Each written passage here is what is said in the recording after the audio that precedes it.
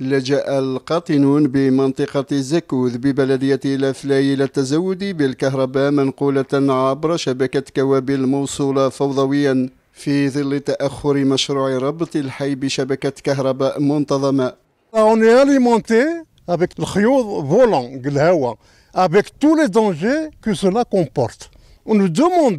Aux autorités publiques l'intervention كسرينا واحد 120 متر 150 متر نازل سي با شحال.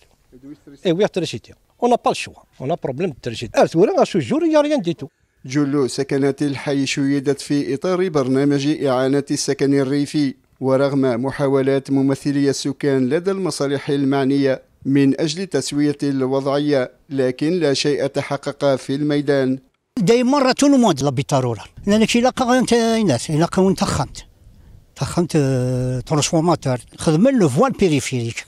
جيمير ولاش؟ زا واحد صوني الغاز يكون بروبليم النار ذي من. فور تلقينا الطلب من طرف البلدية. قمنا بالدراسات اللازمة وكذلك بإرسال التقييم المالي لهذا المشروع.